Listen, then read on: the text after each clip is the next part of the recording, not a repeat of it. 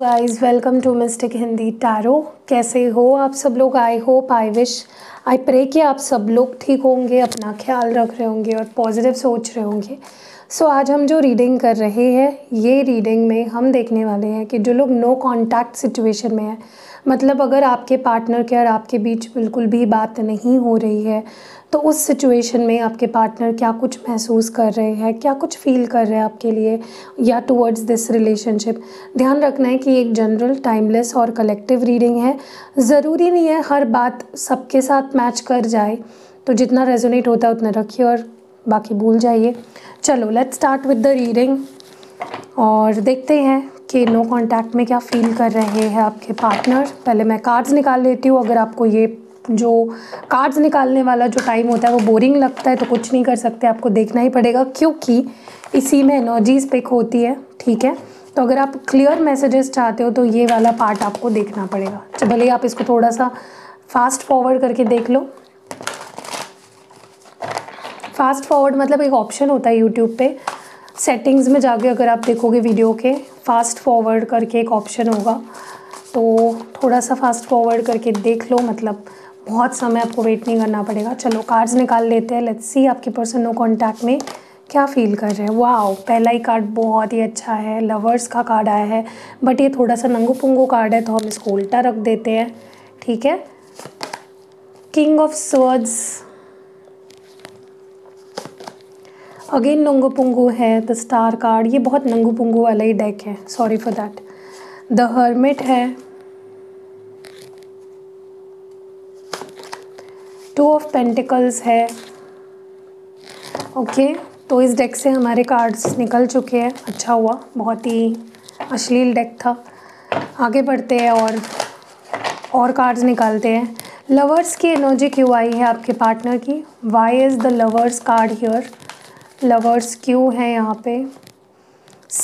Nine of swords है। एक काम करते हैं, इसको उल्टा ही रखते मतलब सीधा ही रखते हैं और इसके ऊपर एक कार्ड रख देते हैं। मतलब मुझे एटलीस्ट पता चले ना कि कार्ड कौन सा है, ठीक है? और इसको भी ठीक कर लेते हैं और इसके ऊपर भी कोई और कार्ड रख देते हैं। मतलब कार्ड एटलीस्ट ढका रहे, लेकिन मुझे पता चले कौन सा कार्ड है।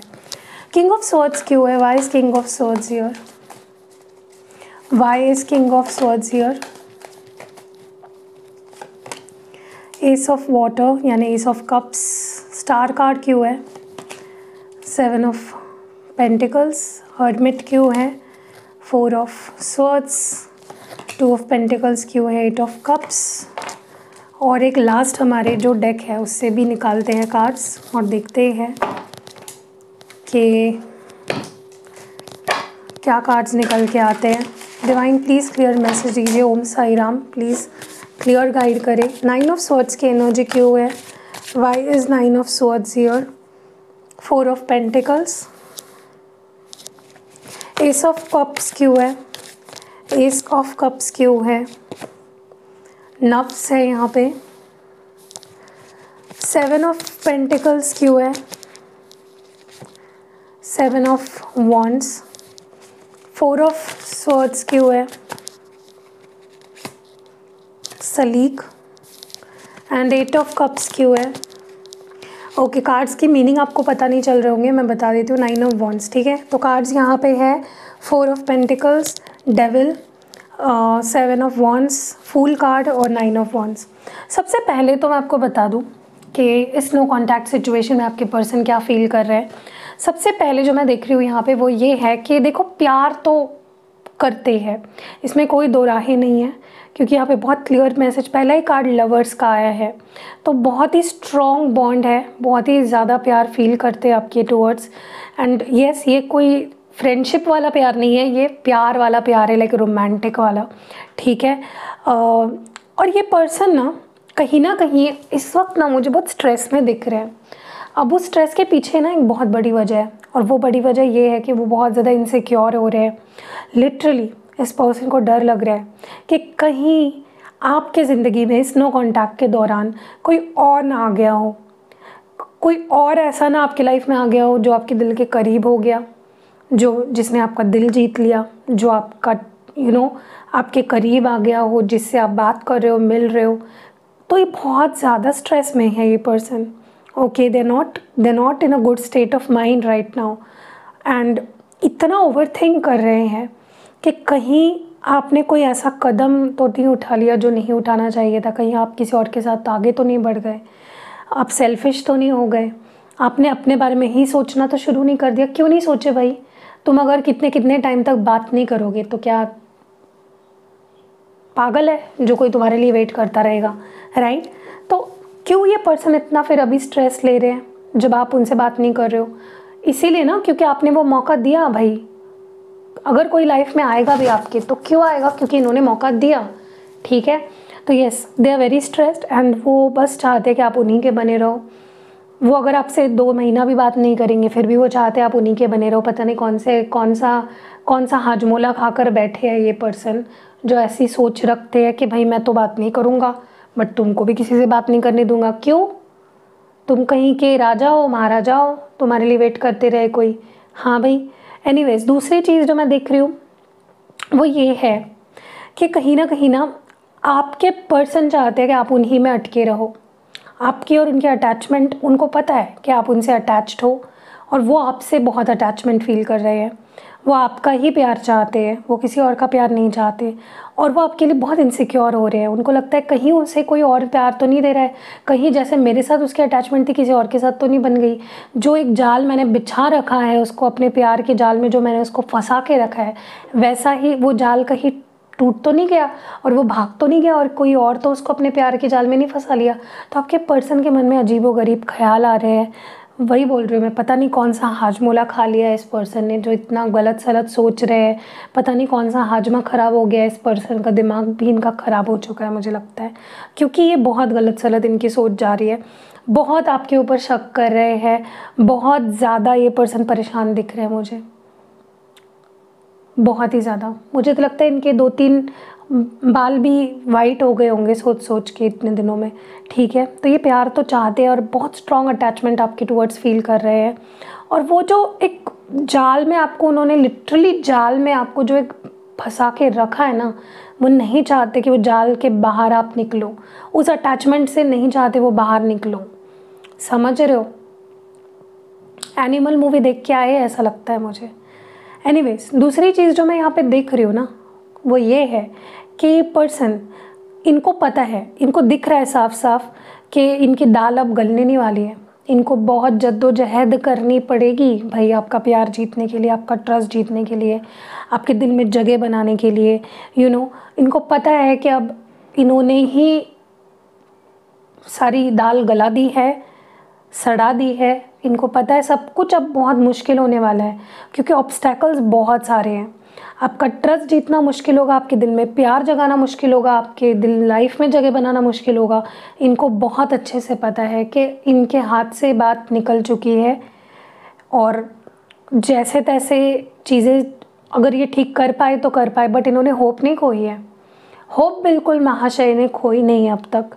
इनको पता नहीं क्यों लगता है कि अभी भी आप इनको माफ़ करोगे, आप आरती का प्लेट लेके इनके लिए दरवाज़े पे रहोगे, इनका तिलक करोगे, इनकी आरती उतारोगे, फूलों का इनके ऊपर वर्षाव करोगे, मीठा खिलाओगे और इनको अपनी लाइफ में वापस लोगे। ऐसी गलत फहमी इन्होंने डेफिनेटली पाल रखी है, लेकिन इनको डर भी है। इनको रियलिटी का पता है ना क्योंकि कि इन्होंने कितना स्यापा कर लिया है, कितना ज़्यादा मुश्किल कर लिया है सिचुएशन को इन्होंने। गाइज़ आपको आज मेरी रीडिंग ना थोड़ी सी अजीब लग सकती है क्योंकि मैं पहले ऐसी ही रीडिंग करती थी। पता नहीं आज मेरा मन फिर से कर रहा है कि मैं थोड़ी सी हँसी मज़ाक के साथ रीडिंग करूँ ताकि आपको भी थोड़ा सा अच्छा लगे और आप भी इन्जॉय करो। बट सच में यार मतलब हद ही कर दिया आपके पर्सन ने। बट होप अभी भी खोई नहीं है। अभी भी ये होप रखते हैं कि ये मुश्किलों का सामना कर लेंगे और आपका दिल जीत लेंगे और आपके दिल में बिना किराए दिए ये एक यू नो किराएदार बन के रह लेंगे। इनको बहुत अच्छे से पता है, ठीक है?